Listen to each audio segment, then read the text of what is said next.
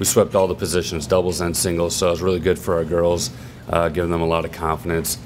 Uh, starting out with doubles, we, we played very excellent. We, the last two meets, we've been playing really, really good at doubles. We've been up and down with, uh, with our doubles play lately, so we have uh, uh, the consistency in play like that, that that's really great. Um, I know our three doubles could, they thought they could have played a little better, but uh, you know they squeaked out the win, and they're a, they're a newly formed team, so uh, um, I'm not worried there. So excellent with our doubles, and it just carried over to our singles. Very proud how um, they uh, didn't look over, don't didn't overlook uh, any of their opponents.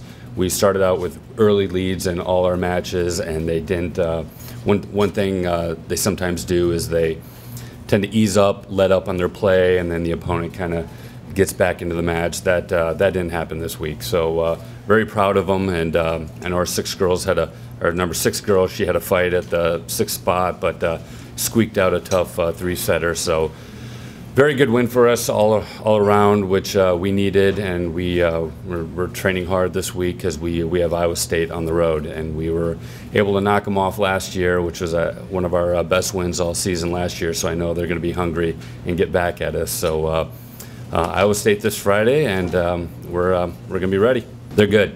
They're they're stronger than they were last year. Um, I was last year just impressed how all our girls played against them, but uh, they've they've reloaded. You know, some of the girls they kind of been moving their their singles players around a little bit, but uh, like their four girl that was last year, she might be playing six this year. So they're definitely a lot stronger, and uh, you know, we just we just need to um, come prepared.